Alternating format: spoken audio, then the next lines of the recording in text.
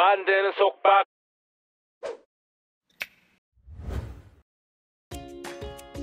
바이는 포도나무야. 포도나무는 열매와 덩굴로 구성되는데 바이는 덩굴이 아니라 열매, 즉 포도에 초점을 둔 말이야. 그래서 바이너리는 포도를 키우는 장소고 비니컬처는 포도를 키우는 사업, 비노파이는 포도가 수리되게 하는 동작, 와이너리는 포도주를 만드는 장소, 와인은 포도주가 되는 거지. 비니거는 식초야. 식초를 처음 발견한 건 우연한 일이었어. 상한 포도주를 먹어봤는데 이게 맛이 괜찮았던 거지. 그 뒤로 신맛을 내고 싶으면 포도주를 발효시켰는데 이게 식초의 시작이야.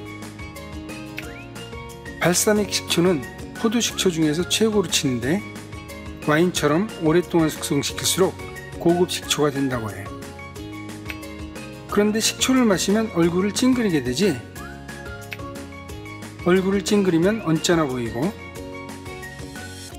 하지만 식초는 피로를 풀어주기 때문에 활력을 높이고 원기를 회복시키는 효과가 있어. 그래서 비니거는 식초라는 뜻이지만 생뚱맞게 찡그림, 언짢음, 활력, 원기라는 뜻이 있는 거야. 빈티지는 원래 포도를 수확한 해를 가리키는 말이야. 그런데 숙성도에 따라서 와인의 가치가 달라지다 보니 와인의 생산 용도가 중요한 의미를 갖게 됐어. 오래 숙성된 와인이 당연히 가치가 높겠지? 그런데 이걸 기가 막히게 이용한 장사꾼이 있었어. 자기가 파는 중고차를 고급지게 보이려고 빈티지 자동차라고 광고를 해대기 시작한 거야. 근데 이게 시장에 제대로 먹혔어. 그때부터 빈티지는 오래됐지만 가치가 있는 물건이라는 형용사처럼 쓰이게 됐고, 빈티지 악기, 빈티지 오디오, 빈티지 패션이라는 새로운 카테고리가 만들어진 거야.